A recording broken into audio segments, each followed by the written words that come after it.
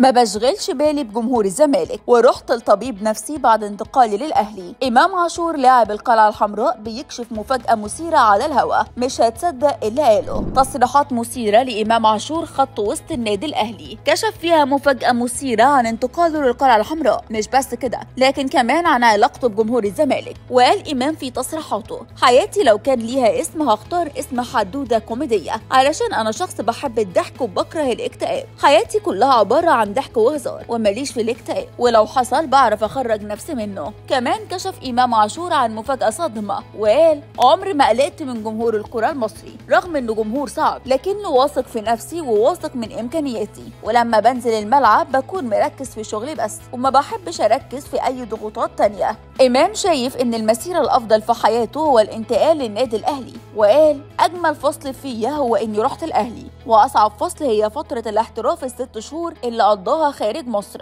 ورجعت بعدها مصاب. وقال امام كمان الدنيا ما كانتش ماشية معايا هناك كويس وما كنتش عارف أتأقلم. وأهم فصول حياتي كانت في نادي حرس الحدود اللي انتقل منه لنادي الزمالك. لكن المفاجأة اللي كشف عنها إمام هي دور الطبيب النفسي في النادي الأهلي معاه بعد انتقاله لصفوف المارد الأحمر خلال الفترة اللي فاتت بعد ما رجع من نادي ميتلاند الدنماركي. وقال إمام الطبيب النفسي ليه دور كبير بعد انتقالي لصفوف النادي الأهلي خلال الفترة اللي فاتت. كنت بعاني من عصبية زايدة وكل ده اتعالجت منه. عن طريق الطبيب النفسي للفريق. ده غير كمان إن كان في طبيب تاني خارج النادي. إمام عاشور كمان اتكلم عن خالد أبو الفتوح مدربه في غزل المحلة. واللي حصل معاه قبل انتقاله لحرس الحدود وبعدها نادي الزمالك. وقال امام خالد أبو الفتوح في غزل المحلة كان هيخليني ابطل كرة في آخر كام سنة ليا في المحلة. ما كانش مقتنع بيا نهائي. اتكلمت معاه في النقطة دي. ولكن هو كان بيعمل معايا حاجات أنا ما كنتش فاهمها خالص. الساعات اللي فاتت اتسبب إمام في حالة كبيرة من الجدل بعد تعليقه على رحيل المعد البدني لنادي الزمالك محمد مدحت. إمام نشر صورة للراحل وعلق عليها وقال هتوحشني يا صاحبي. إمام عاشور ظهر كمان في تدريبات النادي الأهلي في الساعات اللي فاتت علشان يبدأ البرنامج التاهيلي الخاص بيه ويستعد علشان يشارك في التدريبات الجماعية خلال أسبوعين من دلوقتي. صفقة انتقال إمام عاشور للنادي الأهلي بتفضل واحدة من أهم الصفقات اللي عملتها القلعة الحمراء في الفترة الأخيرة خصوصا إن إمام كان في مشاكل كبيرة مع جمهور النادي الأهلي وكانت بتعتبره جماهير نادي الزمالك واحد منهم. لكن إمام خرج من الحالة دي بسرعة وقدر يرجع من تاني ويكون أفضل خط وسط حالي في الكرة المصرية.